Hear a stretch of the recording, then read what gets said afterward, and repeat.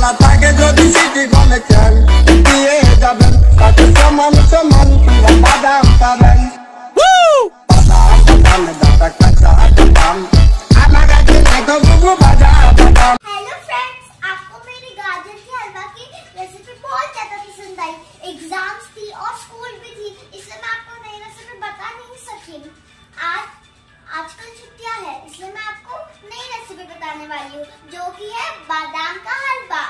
चलो आपको बता देती हूँ क्या क्या सामग्री लगती है। दूध माने की मिल्क, बादाम माने की आलमंड शक्कर माने की शुगर खसखस माने की पॉपी सीड घी माने की घी। तो चलिए छोटे छोटे पीसेस कर देती हूँ बादाम के और कितने से। मैंने बादाम की छोटे छोटे अभी इसको मैं मिक्सर में डालूँगी और जल्दी से घुमा दूँगी।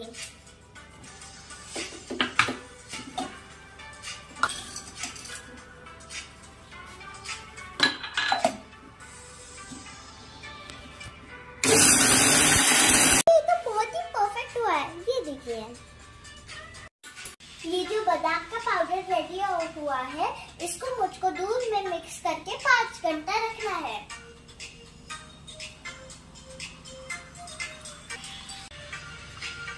ये जो पॉपी सीड्स है, इसको भी मुझको मिक्सर में डालना है।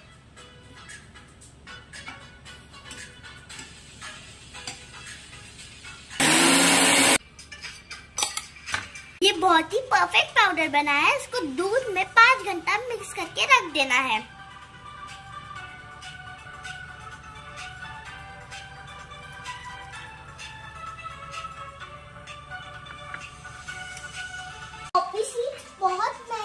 होते हैं। मार्केट में ट्वेंटी फाइव हंड्रेड रुपीज़ के जी मिलते हैं। चलो इन दोनों को पाँच घंटे भीगने देती हूँ।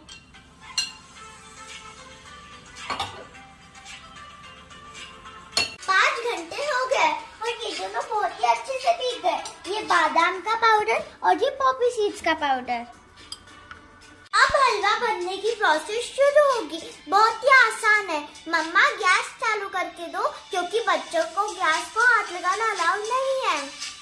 हाँ बेटा। अब इस घी को पैन में गरम करना है।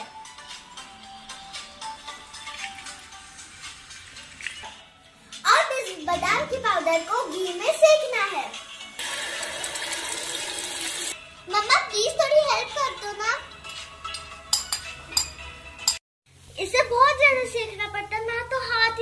सेक सेक के। चलो, इसमें अभी पॉपी सीड भी डाल देती हूँ, और फिर से सेक लेती हूँ।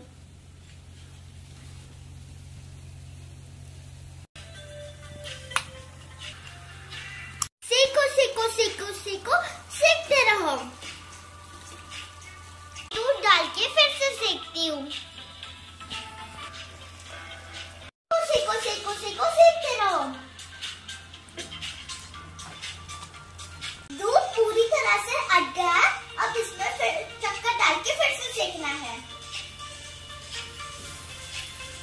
सीखो सीखो, सीखते रहो। मेरे हलवे का रंग देखा, आपने बहुत ही अच्छा लग रहा है।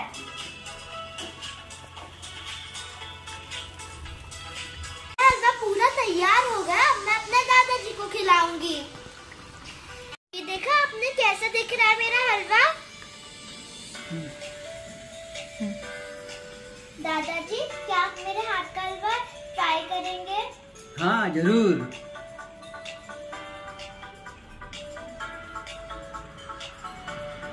बहुत ही स्वादिष्ट बनाया है। थैंक यू बेटा।